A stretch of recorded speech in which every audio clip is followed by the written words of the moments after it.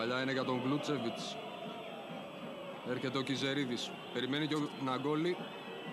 Καραλιόπουλος τώρα. Το σούτ είναι δυνατό. Άστοχο η πρώτη καλή στιγμή για τον Άρη. Μόλις το τρίτο λεπτό. Κιζερίδης βρίσκει τον Χριστοδούλου από τα δεξιά. Περιμένει και ο Ναγκόλη και πιο πίσω ο Γκλούτσεβιτς. Παλιά είναι για τον Γκλούτσεβιτς. Είναι καλή. Το σούτ του Γκλούτσεβιτς. Πολύ μεγάλη ευκαιρία για τον Άρη.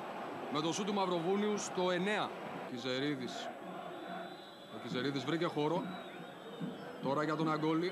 Το σούτ του τελευταίου. Η μπάλα θα περάσει out. Καλή ευκαιρία για τον Άρη στο 25. Κεφαλιά πάσα για τον Κωνσταντίνου. Είναι ο Μάτζιος επάνω του. Ο Κωνσταντίνου ελέγχει την μπάλα. Θα περάσει από τον Μάτζιο. Μπαίνει στην περιοχή. Το γύρισμα και μπάτζε. Το σούτ. Η μπάλα στα δίχτυα 1-0 για τον Ηρακλή στο 27ο λεπτό. Κωνσταντίνου πέρασε όμορφα το Μάτζιο. Έβγαλε την παράλληλη σέντρα από το ύψος του πέναλτο και μπάτζε με ένα αριστερό σου την έστειλε στα δίχτυα του Κατεριανάκη. Στο δούλου τώρα. Για τον Κολτσίδα. Κολτσίδα στο φάουλ. Και απειλείται μια σύραξη μεταξύ των παιχτών του Ηρακλή και του Άρη. Και ο Βασάρας βρίσκεται στο σημείο της αψημαχίας των δύο παικτών. Και η κόκκινη κάρτα στο Γιώργο Κολτσίδα από τον κύριο Βασάρα.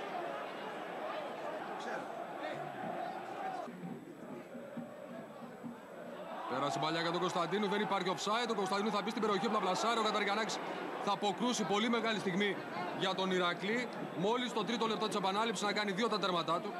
Τελέστηκε το φάουλ. Ο Ντεμπά, όμορφη κίνηση, πέρασε, μπήκε στην περιοχή του Άρη. Τώρα το σουτ, βάλα στα δίκτυα, δεν θα μπορέσει να αποκρούσει ο Λουμπούτης. Ο Μάτζιος με τον Καταργιανάκη μπερδεύτηκαν.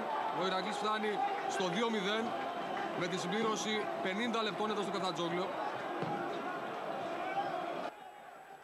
Παλιά του Ντεμπά για τον Κωνσταντίνου. Ο τελευταίος έχει κοντά του τον Παπαδόπουλο. Μπαίνει ο Κωνσταντίνου στην περιοχή σουτάρει. Ο Κατριγιανάκης πετάει την παρα κόρνερ. Σέμπουε. Μορδικίνη στο σου, την μπάλα out. Ο Κέννεντι τώρα. Η σέντρα για τον Βερετένικοφ σε καλό σημείο το σου, την μπάλα πάνω από τα δοκάρια. Μοναδική ευκαιρία να μειώσει με τον Όλεκ Βερετένικοφ ο Άρης. Το σουτ δυνατό, ο Κατεργιανάκης αποκρούει. Δεύτερη προσπάθεια έχει σταματήσει η φάση. Και η λήξη της συνάντησης από τον κύριο Βασάρα βρίσκει νικητή τον Ηρακλή με 2-0.